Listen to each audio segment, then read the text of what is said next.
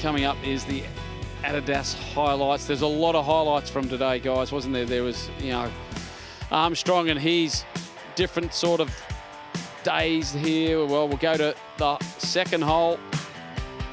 This is for par. And he'll miss this. He'll go on to make a bogey. And it was a day of that. I think it was nine bogeys in total.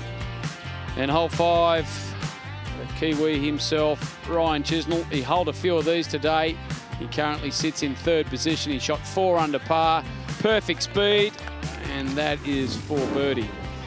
And back at the third hole with Austin Bautista after a massive drive over the corner, set that up for eagle.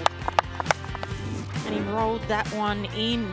And to keep things going on the fifth hole, Jay McKenzie, this birdie putt for his second birdie of the day. He rolled that right in.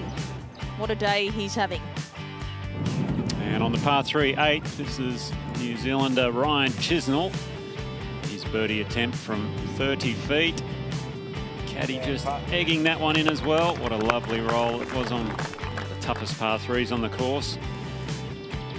Also on the same hole, Josh Armstrong, a beautiful tee shot to eight feet, rolled that in for his birdie. It was a very much an up and down day for him. And we head forward to the, the 12th with the Kiwi, Ryan Chisnall. was on fire at this stage, had 20 footers going in like it was shelling peas. Well, he'd roll that one in. It got him onto a good move there. That was a nice birdie. And then on the 10th hole, this is the second shot of Austin Bautista. And he'd take dead aim at this, use the back stop there and suck it back.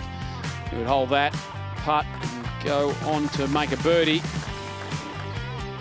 And ahead at the 11th hole with Jay McKenzie. What a day he's having. This birdie putt does just that. That was back-to-back -back birdies for Jay McKenzie there. And Austin Batista featuring a lot in our Adidas highlights here. The 13th hole. And he's walking this one in. That's a rare two on the 13th today. What a day. Certainly was an incredible incredible day from Austin. Apart from this putt here, this was for his putt for bogey. At this stage, he had a three-shot lead, and that ended up being a double bogey for him. However, on the 16th, he had a wonderful approach with his wedge. Nice little eight-footer, right to left. The early walk, the fist pump, he knew it was in. And he's our co-leader with this man on the 18th, Jay McKenzie. Three wood in hand, 240 metres out absolutely pounding it to the front edge. Got a lovely roll off the front of that slope. And look at this. Judged. Eating its way down to that hole. At one stage, it almost looked like an albatross was on the cards. Unfortunately, he would miss his eagle attempt, but he birdies the hole to be our co-leader along with, uh, sorry, Austin Batista at the top at 15 under par.